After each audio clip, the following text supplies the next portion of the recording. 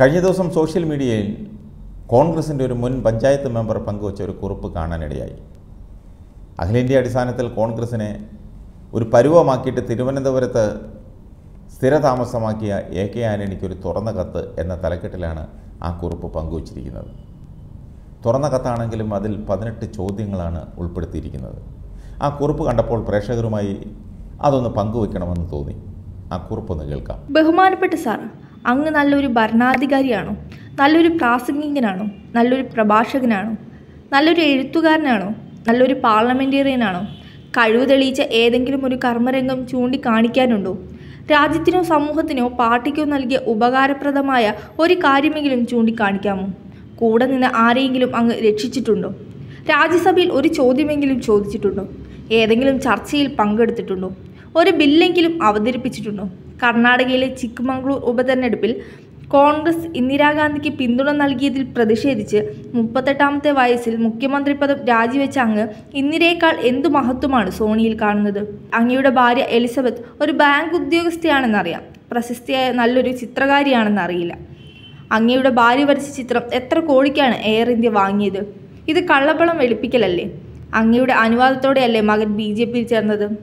അതിന് കോൺഗ്രസ് ഒരിക്കലും അധികാരത്തിൽ എത്തില്ലെന്ന് അങ്ങയ്ക്ക് ബോധ്യം വന്നതുകൊണ്ടും ബി ജെ പി ഗവൺമെന്റിൽ നിന്നും അങ്ങയുടെയും മകന്റെയും മറ്റും പേരിൽ ഉണ്ടായേക്കാവുന്ന കേന്ദ്ര അന്വേഷണ ഏജൻസികളിൽ നിന്നും രക്ഷപ്പെടാനും കൂടിയല്ലേ?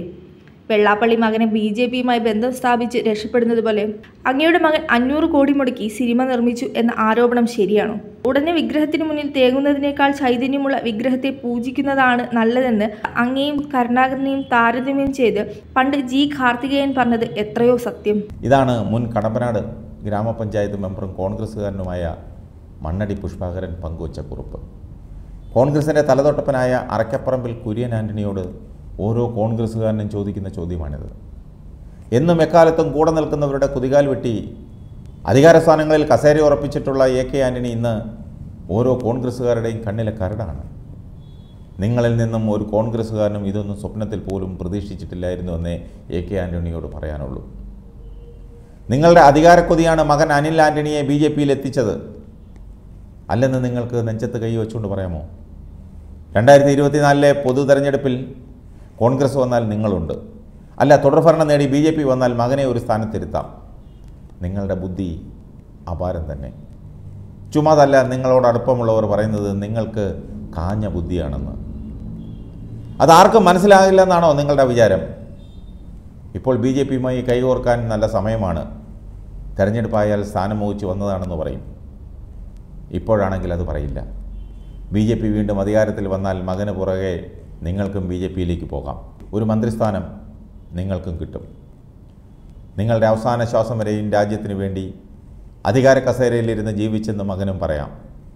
ഏതായാലും കോൺഗ്രസ് പാർട്ടിയുടെ ഒരു സാധാരണ പ്രവർത്തകന്റെ പോലും മനസ്സിൽ നിങ്ങളുടെ നാമധേയം ഇല്ലാതെ പോയല്ലോ എന്ന് ഓർക്കുമ്പോഴാണ് സങ്കടം തോന്നുന്നത്.